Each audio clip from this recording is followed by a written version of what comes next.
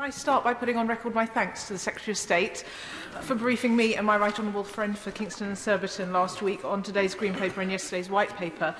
Um, in today's Green Paper, it talks about the SEND system being bureaucratic and adversarial, not equally accessible, and having a heavy emotional and sometimes financial toll on parents. And certainly, parents in the, my constituency would very much identify with that.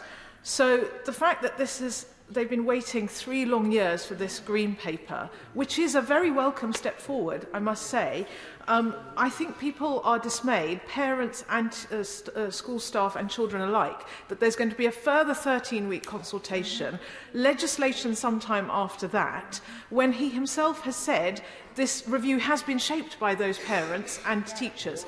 So when will parents in Twickenham and across the country see the impact of these changes? Yeah.